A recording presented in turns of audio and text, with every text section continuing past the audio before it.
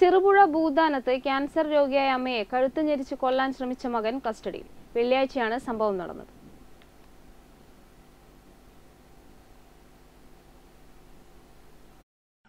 ചെറുപുഴ ഭൂതാനത്തെ കോട്ടയിൽ സതീഷാണ് മാതാവായ നാരായണിയെ കൊല്ലാൻ ശ്രമിച്ചത്. ഈ സമയം സതീഷും അമ്മ നാരായണിയും മാത്രമാണ് വീട്ടിലുണ്ടായിരുന്നത്. സതീഷ് തന്നെയാണ് അമ്മ മരിച്ചെന്ന് കരുതി അയൽക്കാരെ വിളിച്ച് അമ്മയ്ക്ക് സുഖമില്ലെന്ന വിവരം അറിയിച്ചത്. നാട്ടുകാർ ഓടിയെത്തിയ ഉടൻ തന്നെ നാരായണിയെ പരിയാരം ഗവൺമെന്റ് മെഡിക്കൽ കോളേജിലും തുടർന്ന് കോഴിക്കോട് മെഡിക്കൽ കോളേജിലേക്ക് മാറ്റി.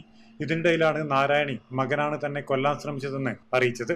Cherupuzha S H O T P ദിനേശന്റെ നേതൃത്വത്തിലുള്ള സംഘമാണ് ശനിയാഴ്ച രാവിലെ സതീഷിനെ അറസ്റ്റ് ചെയ്തത്. Network news Cherupuzha.